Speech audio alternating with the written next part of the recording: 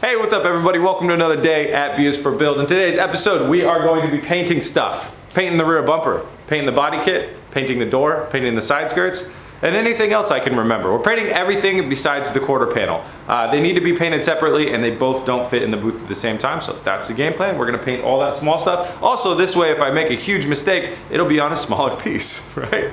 Stay tuned.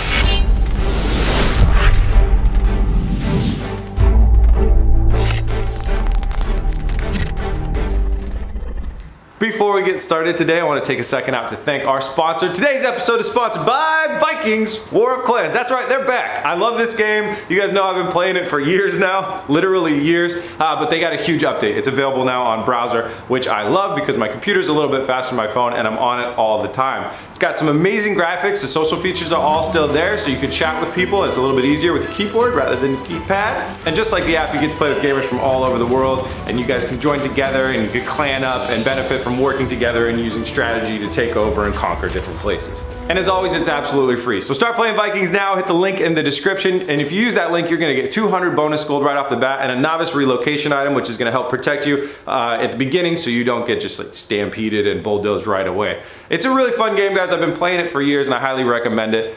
Link is in the description. Let's get down to work. We're gonna get started here on this bumper. So uh, we're gonna need to first clean off the gunk from this badge right here.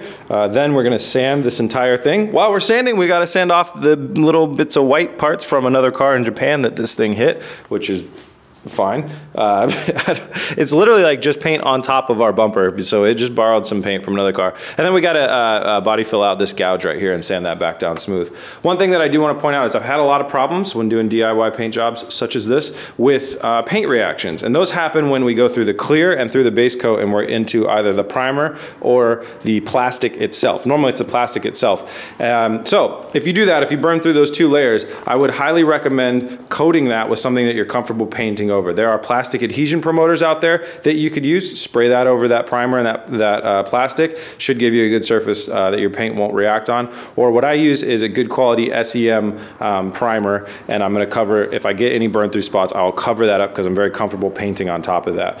It's just a lot easier to test that one section, paint over it real quick, get it, get it to be a good surface that you're comfortable with, rather than if you go and you start to paint your entire panel, and you're doing your back and forths, and then a couple seconds later you start to see a whole spot just start to fry up and your panel's ruined, that's a terrible feeling. So, and I've done it quite a few times.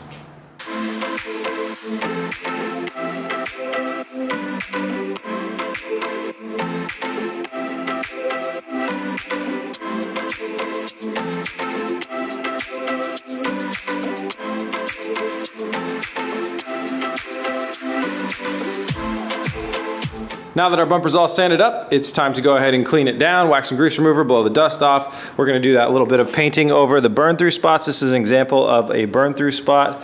Um, and you can see how it's like clear, base, and then that's not even primer, that's actually just the polyurethane. That's the stuff that worries me. Here's a, a little bit better shot of a lot more burn through. Uh, that's because we're gonna be doing body work in this whole area right here to take care of that gouge. So I sanded down purposely a little bit further. So that's the stuff that I'm gonna be uh, cleaning up. And then we're also going to bring the door in here and uh, set that down and do the body filler over there, like just a little bit of finishing work on that door panel.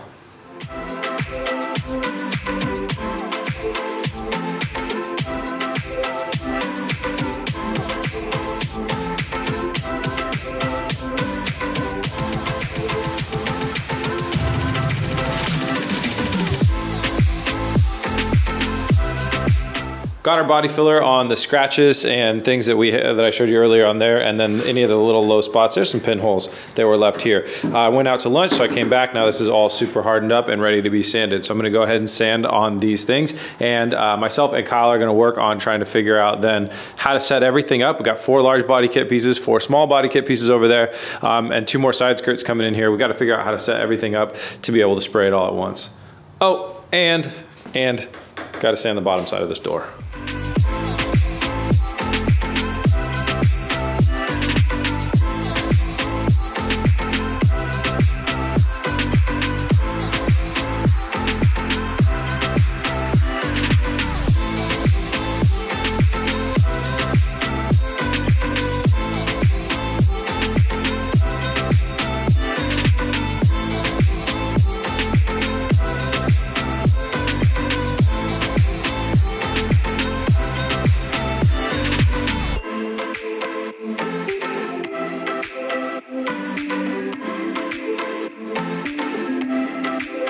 All right, we got some stuff laid out here, but now it is time to finish the sanding work on the wide body kit. You guys remember we did a lot of glazing on this, uh, so that needs to all be sanded off smooth. And the little end pieces all need a little bit of touch-up work help as well. So I'm gonna go ahead and get those started and get those sanded.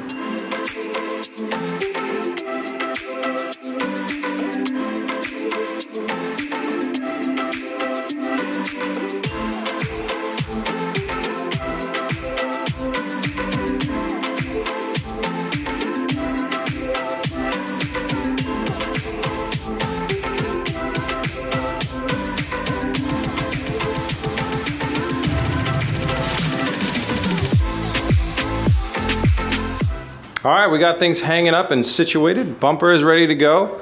Door has been sanded down, ready to go. All the body kit pieces sanded down, ready to go. We got a couple of the little side things, had a little bit of glazing putty put on there. They, with a quick sand down, will be ready to go. And the side skirts are ready to go. But today's my birthday. That's right, B is for birthday. So I'm also ready to go. I'm ready to go party. All right, back from my birthday party. A little bit, a little bit worse for the wear, but I'm gonna, I'm gonna make it through it. Uh, when we got in here, I started reviewing kind of what we had set up with all this stuff, and um, I'm very concerned with the placement of all these wide body kit parts. What happens is when you take the gun, you're gonna come over here, and when you're spraying, you're gonna try and come in and get these corners here. If the gun and the fan is meant to be shooting here and it crosses over and catches this part right here, it's gonna give it a huge blast of paint that you didn't want. On a mid coat or a clear coat, that could really ruin a paint job. So I started looking at this stuff um, a little bit more and trying to figure out how we could spread it out and we just don't really have a good way. So I've come to the conclusion there's just not enough room in this shop to paint everything at once. So we're gonna take all the body kit stuff, including that stuff, and the side skirts and we're gonna go put them in another room. And today we're gonna focus on the door and the bumper.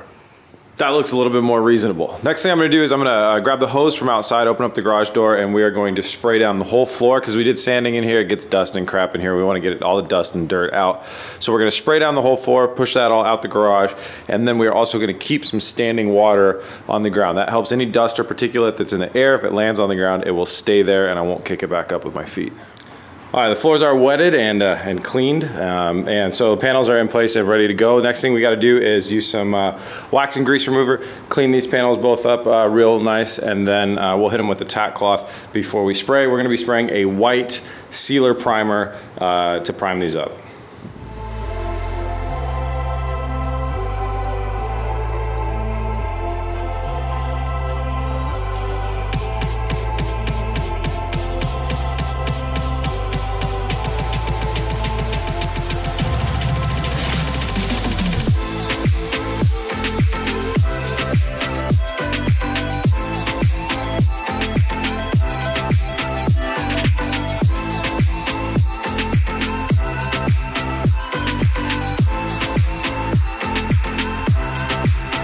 Well, I am so bummed to say this, but um, screwed up another paint job, guys. This is just, you know, we've screwed up more than we've gotten right, but it's all with the idea of learning. That's what this whole channel is about, is learning how to do these things. So let me teach you from my mistake. Let's start with the rear bumper. Rear bumper, sealer primer. This is just sealer primer. Uh, I know it looks pretty good, but it's just, this is just primer. Anyways, fantastic, perfectly good, no problems on the door, we got a couple fish eyes uh, right off the bat on our first coat on the backside. We didn't get any on the or on the front side. We didn't get any on the backside. Um, uh, in Oregon, a lot of professional body shops are using fish eye eliminators in this season. I think it has to do with the humidity and different things like that. So we got a few small fish eyes on coat one. Coat two, I added fish eye eliminator to the paint which I probably should not have done after you had coat one down with no fisheye eliminator. That could have been where my problem was. But uh, anyways, I added some fisheye eliminator and I shot over the panel again. As I was getting midway through, I ran out of paint. I mixed up a little bit more paint, shot the rest of the panel, um, this backside, which does not really seem to have fisheye. So this is like normal paint on normal paint. But when you get into the middle here, you can kind of see over there, um, I also added a little bit more paint on that third coat everywhere around. So I kind of restarted back over there and went because we had a little bit of dry spray. Um, painting, I don't know if it was the fisheye eliminator paint on top of the first coat or if it was the th third coat on top of the second coat with fisheye eliminator and the third coat not having it on there. But anyways, fisheye eliminator is a chemical compound. I've heard it's made up of a lot of silica, which is also another thing that kind of like I don't know. It's really complex, but it doesn't play well with other paint. And what it did was we got basically fish eyes in between the coats. So like between coat two and three, we got a ton of fish eyes. You can see they don't go all the way down to the bottom of the panel. They're just about two layers of paint deep. So um, we got enough primer on here that I can just sand this all down and it'll be nice and smooth and we can keep, we can actually, it'll work. But we can't keep painting tonight. We can't do what's called a wet on wet application because uh, this panel is toast. So moral of the story, either use fisheye eliminator the entire time or don't mess with it. I wouldn't jump in in the middle. Another thing that you can do if you get a fisheye so you have a little dot is you can come let the panel dry up pretty nicely, come back mist coat over it, and then and then let that mist dry up and then spray over it. And sometimes that can help get the paint into that little fisheye. Um, but yeah, if you're using a chemical fisheye uh, remover, reducer, whatever, uh, certainly don't add it in the middle. So the panel's obviously some bad news. I got some news that I, am thinking a lot of you guys aren't, aren't gonna like. I got to pause the GTR build here, uh, and I'm flying out to do a collab with Tavarish tomorrow. Um, I don't like to interrupt builds, but I also um, have been reading the comments and stuff like that, and nobody likes to see a build get rushed. So once we had the hangups with the quarter panel and stuff like that, I realized that I probably wasn't gonna be able to get the GTR done before this collaboration, which was how I kind of tried to schedule it.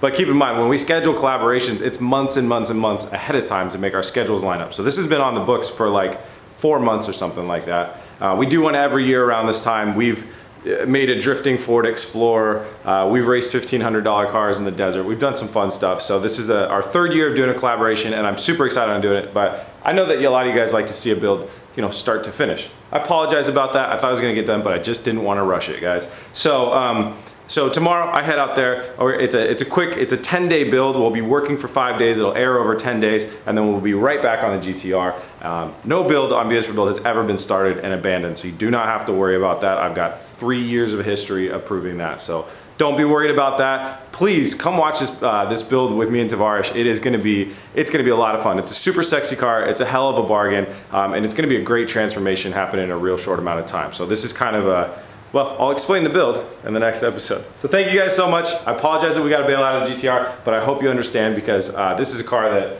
I really, really like. I really, really want to take the time to do it right. So, all right, guys, I'll see you in the next one. It's a convertible. There's a hint. It's a hell of a bargain. Anyways, it's great. It's gonna be a great build and it's actually my car. This car, we're working on it together out in Florida, then I'm shipping it home and we'll have it here. So I'll tell you all about it in the next episode. Thank you guys so much for watching. Thanks to Vikings War of Clans. Hit the link in the description, guys. It helps support the channel very much. If enough of you guys hit that link in the description, they will continue to sponsor us and we'll be able to uh, keep supporting us with all these builds. So guys, check out the game and uh, thanks. I'll see you soon in Florida. Peace!